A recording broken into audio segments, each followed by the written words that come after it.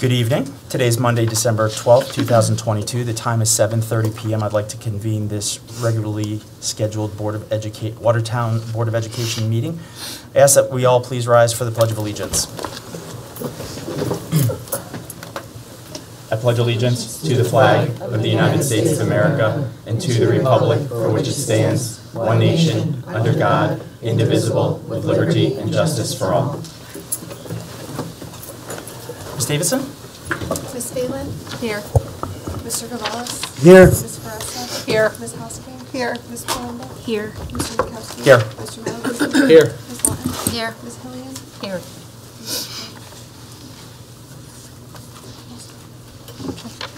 Thank you very much.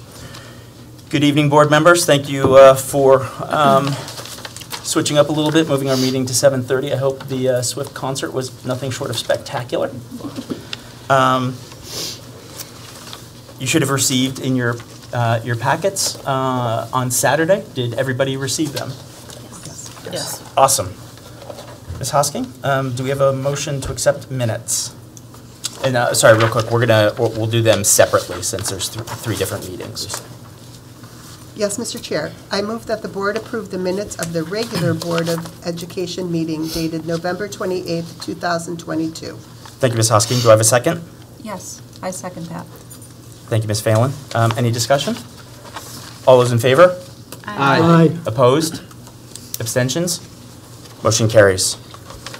Uh, Ms. Hosking, do we have a motion for the special board meeting? Yes, I move that the board approve the minutes of the special Board of Education meeting dated November 28th, 2022. Thank you. Do I have a second? I second the motion. Thank you, Mr. Malaguti. Any discussion? All those in favor? Aye. Opposed? Abstentions? Motion carries. And third time's a charm. Ms. Hosking, do we have a motion for the uh, special board meeting on December 1st? Yes, Mr. Chair, I move that the board approve the minutes of the special Board of Education meeting dated December 1st, 2022. Thank you. Do I have a second? Second. Thank you very much. Any discussion? All those in favor?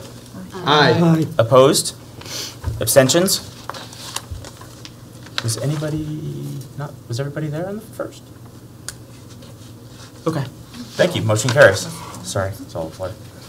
Um, okay, um, moving on to superintendent, superintendent's recommendations and report. Wonderful. Hi, everybody. Um, A quick report for me, um, but thank you for everybody who attended the concert this evening. Um, I didn't get a chance to go myself, but um, it is officially concert performance time. So it's great to hear uh, chorus, band, instrumental, uh, in in terms of uh, orchestra. So thank you for coming out, and I hope everybody enjoys the very festive mood that the performances bring.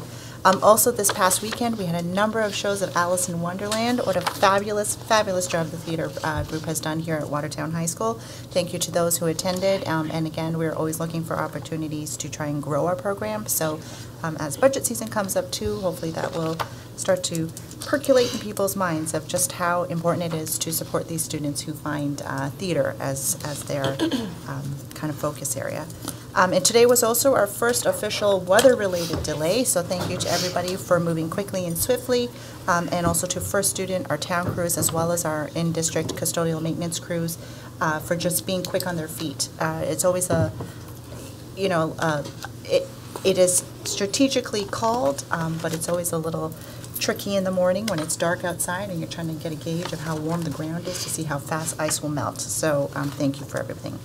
And officially, December 1st is come and gone, and the HVAC application is in. That's it for me. Thank you. Through the chair, sorry, uh, you were asking if everybody was at that meeting. Ms. Palumbo was not, so do we need to? Yeah, the Abstain. special meeting. Oh, the special meeting. So, um, um, Ms. Davidson, can you um, The note the December. record that um, Ms. Palumbo should be an abstention from the December 1st, First minutes. 2022 special board meeting? Thank you. I knew there was one, I just couldn't Mhm. remember what it was. Thank you. Um, So, real quick, um, before I um, see if any board members have any comments, I'd like to thank Ms. Davidson for um, all of her work with Alice in Wonderland. Um, We know it's, it is tireless, it's exhausting on, physically and emotionally. Um, And so, thank you for continuing to give back, even though um, uh, his kids have, have moved on to college. So, Totally a team effort. Through the chair? Do any board members have any comments? Yes, through the chair. Um, It was wonderful that all the students got to go see the play. Um, My son loved it, he thought it was great, so, which sparked an Alice in Wonderland whole thing. So I just want to say thank you, it Well, the, the spring nice. musical is coming up, tryouts are the 21st, auditions are the 21st, so they'll enjoy that as well. All right. Nice. Great. Any, uh, any other board members have any um, questions or comments for Dr. V? Awesome. Moving on. Uh, Mr. Ross is not here this evening. So we do have some updates in our packet. Okay. I think. Yep. Um, Do we want to, so, um, board members, if, uh, if you've had a chance to review the updates, are there any questions or comments in regards to the updates? If not, um, um, maybe we can save them. Uh, If you find anything, you can add it, uh, bring to the next meeting. Um, All right.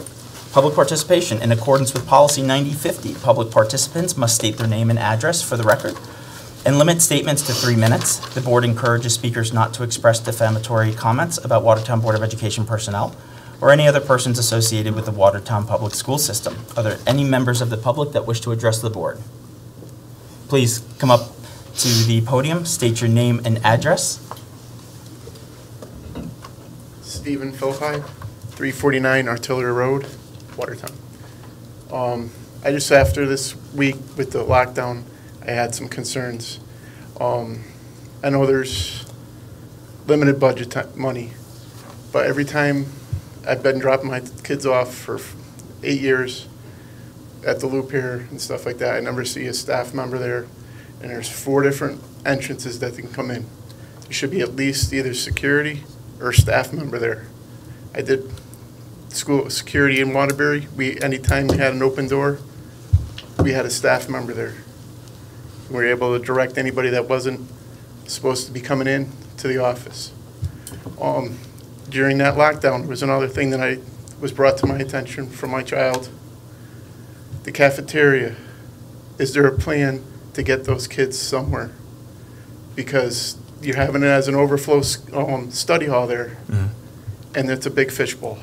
If somebody was in the school, those kids got to be protected somehow. That glass isn't going to protect them. So that's Great. I. Thank you. Typically, we don't respond um, to public comment. However, I will say this. Um, First and foremost, thank you for bringing that to our attention. Um, We need parents, their eyes and ears to to see so that we're aware. Um, Many times, there is a staff member there, or or there should be someone there. They could be just inside the door, outside of visibility. Um, But something I'm sure Dr. V will follow up on. Um, As far as the protocols for uh, uh, the cafeteria, um, our building security plans um, are, I'll call it private. Um, They're not disclosed to the public. However, um, I will ask Dr. V just to look into that one kids should know specifically, make sure to- it's Have to go addressed. as a safe area. Yep, It nope, should be, absolutely, because I know my daughter has th- three study halls, and absolutely, she's in there, she's going to know where she's supposed to go. absolutely. So Dr. V will take that as a follow-up to, to um, make sure that plan is, uh, the cafeteria is accounted for in the high school plan specifically, and work with building administration um, to, to ensure um, both of those items are, are buttoned up. All right, thanks. Thank you, Bring appreciate it. back the Indians. Any other members of the public wish to address the board? All right, seeing none. Um, all right, agenda I, H, I'm gonna say, I told you I'm not gonna do well tonight. Uh, 2023-24 athletic budget presentation, Mr. Paul Catuccio, Athletic Director. Thank you.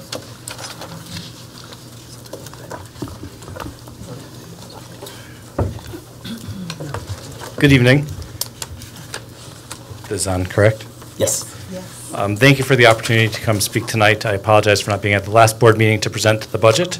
Um, But again, thank you for the opportunity tonight to highlight some of the priorities that we have this year for athletics.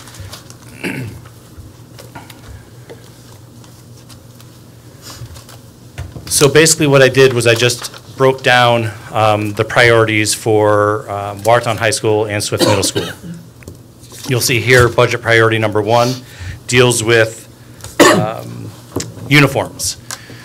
We are in a five-year uniform rotation cycle. Um, this year. However, we were unable to purchase those uniforms, so it pushes off what we would purchase this year for next year. So it looks like next year we have a number of sets to purchase, uh, including boys' basketball, girls' basketball, cross-country, volleyball, ice hockey, and boys lacrosse, um, and cheerleading, actually. Um, So there's a few items that we have to, um, we have to purchase. As you know, um, many kids uh, will wear these uniforms over the course of five years, and, and uh, high school uh, students play hard, and so it's, it's it's important to make sure that they're in um, some new and updated uniforms regularly. Priority number two includes some new equipment. Um, And here we have some items that are necessary. Uh, We have a scoreboard for the softball field in the back of the high school, which um, has not been in operation for my time here, for seven years.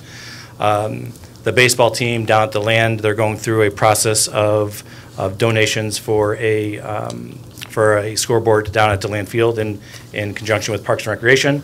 And so we feel that it makes sense to make sure the softball team has something at the back of the field that um, they can be proud of. Uh, Some other items um, include a new scores table for the gym. Uh, I'm not sure if many of you are familiar with the scores table in the gym, um, but it is tired and, and needs updating, uh, to say the least.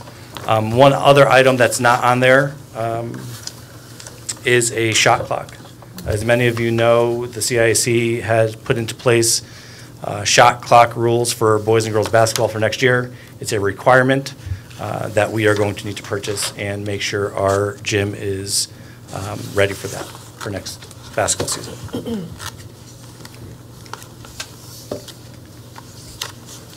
I don't. That is not, Okay, you could skip it, it's not actually in our package either. Hmm. that's interesting. Um, The one other item that I included uh, was safety and security. In this day and age, safety and security is, is very, very important.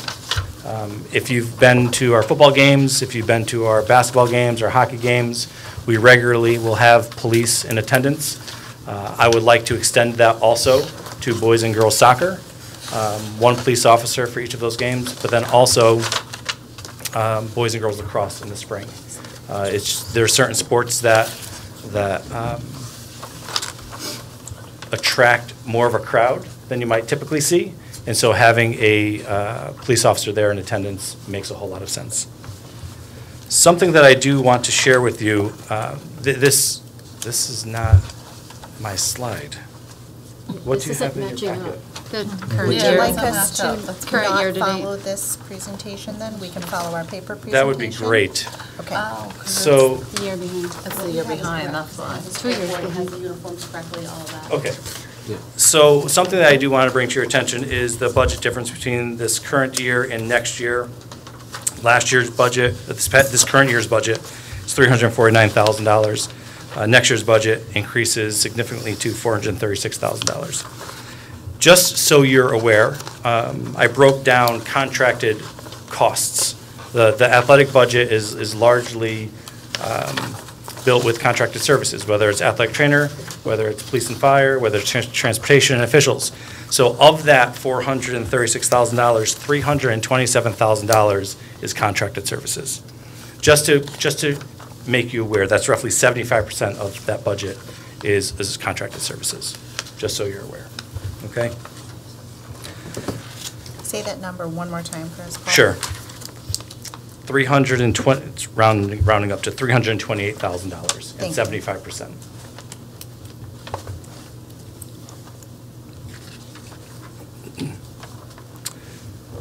So for the middle school, similarly speaking, um, we have some priorities, including, I'm not going to use the slideshow because I'm not exactly sure what's on it, to be perfectly honest with you. Um, We have some uniforms that are necessary. We have cross-country uniforms that we have to uh, replace, uh, and we have some softball pants and baseball pants that have to be updated. Uh, And so there's a, there's a need for, for an increase there. Um, And then also transportation, there, there's increases regularly when it comes to costs. Uh, And so the transportation costs are increasing, which uh, is outlined here in the, with the numbers that we have here. And again, the Swift Athletic budget, there's an increase of about $5,000 um, to $54,361. Again, of that budget, $43,000, they're, they're fixed contracted costs. So that's roughly 79% of that budget, if my math was correct. And so I just, I, you know, it's one of those things where, um, you know, it's really great to see the athletes, the student athletes out on the field participating at high levels. Um, Great to see the teams participate. Want to continue to make sure that we provide what we need for them to participate um, a- and give them that stage, right? We have the stage inside, right? We have the classroom where kids can excel. We have the, the, the musical and, and all the performances that we have the- there. But athletics also is also a stage for the kids to compete. And just want to make sure that we are able to um, accommodate them. Thank you, Mr. it. Petruccio. Do Thank any you. board members have any questions or comments? Through the chair? Yes, Ms. Lawton. So since that wrong slide is up, the proposed 21-22 budget was 349, 248, which ended up being your actual this year budget. So one would infer that there's not been a lot of increases that you expected. So what have we been going without? Because that's from two years ago, and it looks like that's the number that we're still at. So are there This- things that we're going without? Well, this year, we have a lot of new items that are built into the budget. Um, Those new items being additional security, um, those items being, um, again, this- the the scores table, the scoreboard, the the items that we have to purchase. Um, So it- it's been,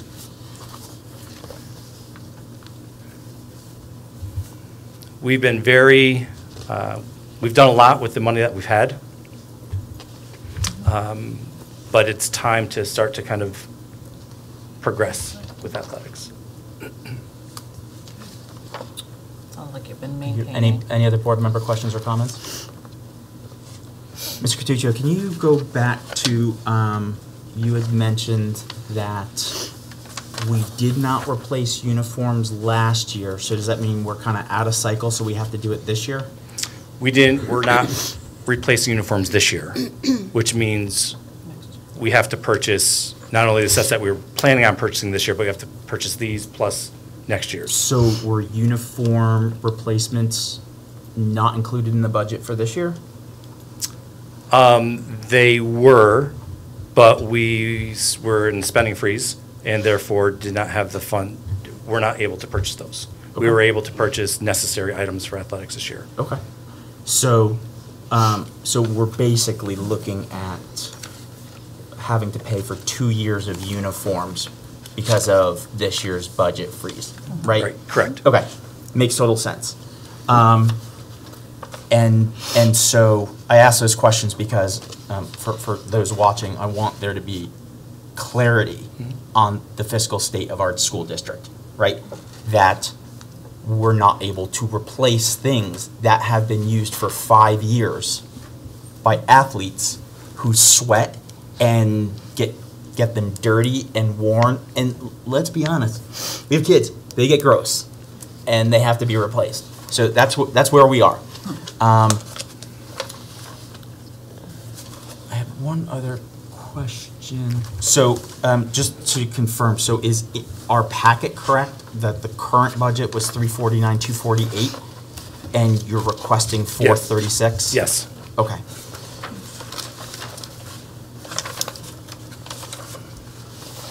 And can you help me understand it Swift? Obviously, we need uniforms, four thousand dollars. Transportation, three thousand dollars. So an additional seven, but the total budget increase is only fifty-two hundred. Where were you able to save eighteen hundred dollars? I'd have to look back specifically at Okay. all of the lines. I'm, I'm just curious because anybody that can, can, can save money, i- i it's awesome. So Just curious if I'd you- have to go back and look at it specifically, um, but there are times where, where when you plan and you allocate dollars for officials, um,